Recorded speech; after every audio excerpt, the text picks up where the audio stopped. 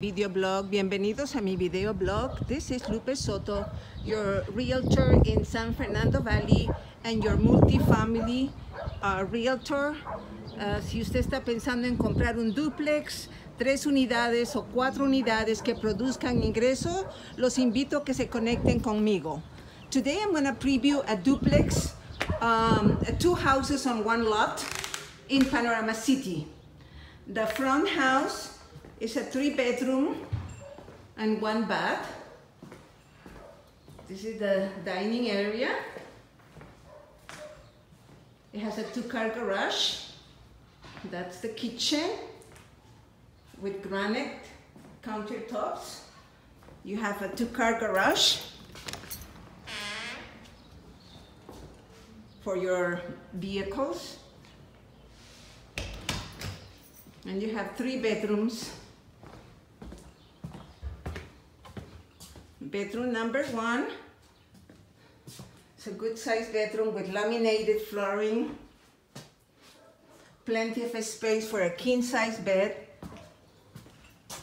This is bedroom number two. The house is facing east. So that's, that's a king bed, king size bed with recessed lighting. And this is bedroom number three. And this is the upgraded bathroom.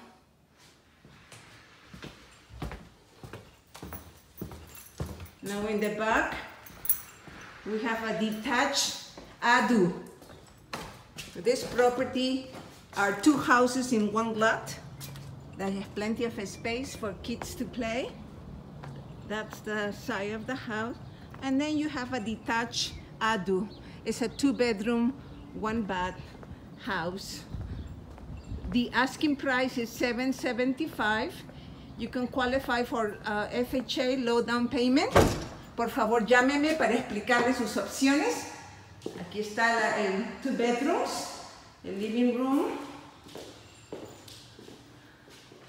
con su cocina. Es pequeño, pero está cómodo, independiente.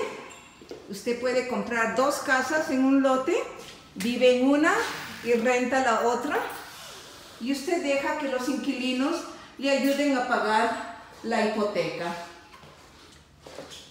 You can buy two houses in one lot, either a house with an adu or a duplex. You live in one and you rent the other unit. This is the bathroom. And you let the tenants help you pay the mortgage.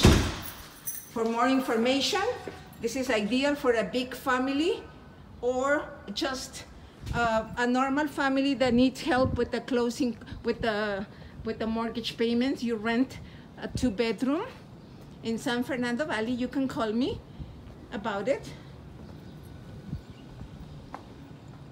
Thank you for subscribing to my video blog. Suscríbase a mi video blog.